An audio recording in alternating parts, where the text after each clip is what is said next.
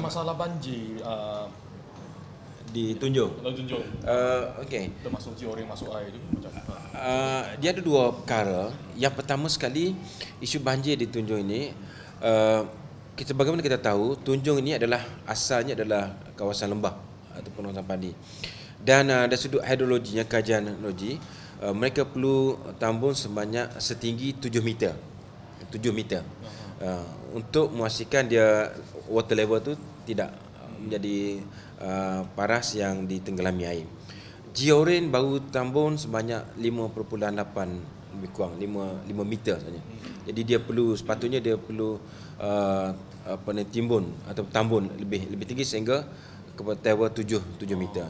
Sama juga ada lagi uh, kawasan-kawasan yang baru tambun 5.8 meter seperti di di sebelah uh, apa dia ni Kota Simbun eh yang kita minta uh, kelulusan pembinaan rumah nanti yang kita katakan sebagai untuk PBN ni mereka mesti menambung sehingga 7 meter supaya melepasi tahap tahap apa dia ni paras banjir. Itu yang pertama. Dan yang kedua melalui JPS kita telah buat permohonan-permohonan untuk monsoon drain dan juga saliran yang dan uh, asasnya pihak uh, pusat telah meluluskan dan telah dimasukkan di dalam rancangan Malaysia yang ke-11 eh. Dan uh, kita mohon 500 juta. Kita asalnya kita mohon 100 juta.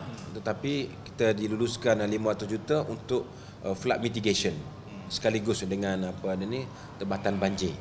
Uh, jadi ini yang kita sedang uh, buat uh, kertas-kertas untuk uh, apa ni monsoon drain yang telah dicanangkan.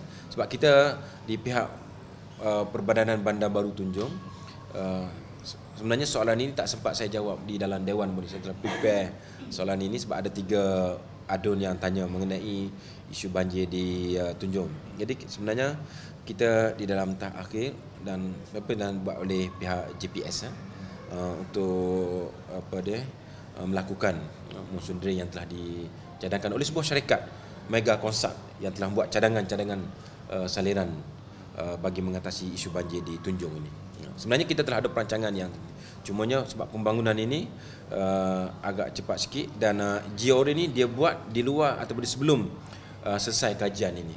Uh, sebab itulah uh, dah dua kali dia diserang oleh di di apa ni menghadapi musibah banjir. Uh, tapi dalam kajiannya adalah semua tanah mesti ditimbus sebanyak uh, 7 meter.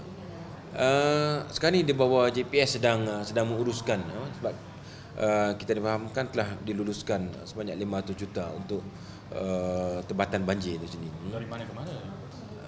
Sebab kita sepatutnya ada dua sungai. Satunya kita bangunkan sungai Serimbun, satu lagi ada uh, uh, sungai yang ada pada uh, isu tebatan banjir ini saliran ini akan keluar kepada Laut Cina Selatan.